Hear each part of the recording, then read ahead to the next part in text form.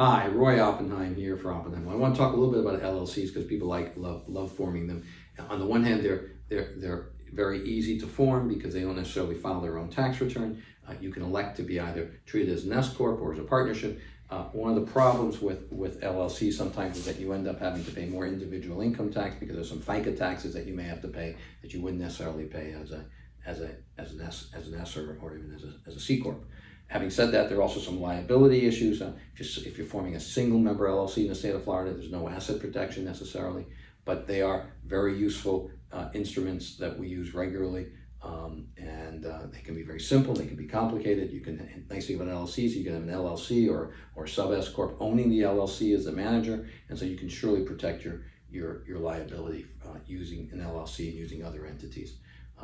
Of course, uh, starting in 2024, uh, you will have to disclose to the federal government uh, who the actual owners are of your LLCs as well as your, of, your, of any, any legal entity whatsoever.